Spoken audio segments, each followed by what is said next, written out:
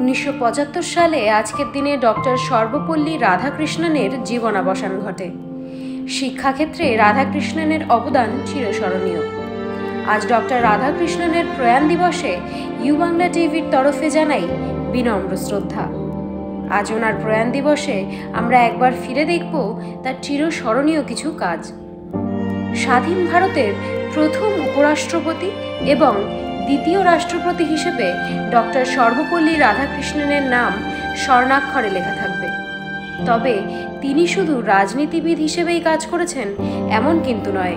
শিক্ষাক্ষেত্রে ওনার অবদান অনস্বীকার্য।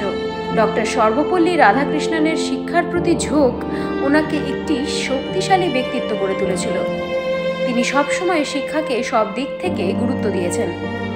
এবং শিক্ষাক্ষেত্রে মান উন্নয়নের জন্য আমৃত্যু চেষ্টা করে গিয়েছেন। ভারতীয় শিক্ষার ক্ষেত্রে প্রসার এবং রাজনীতিতে রাধাকৃষ্ণনের নাম স্বর্ণাক্ষরে লিখিত রইল। আমাদের সম্প্রচারিত খবর যদি আপনাদের ভালো লেগে থাকে, তাহলে অবশ্যই আমাদের চ্যানেলটি সাবস্ক্রাইব করুন। ইউ বাংলা টিভি, হৃদয় ছুঁয়ে যায়।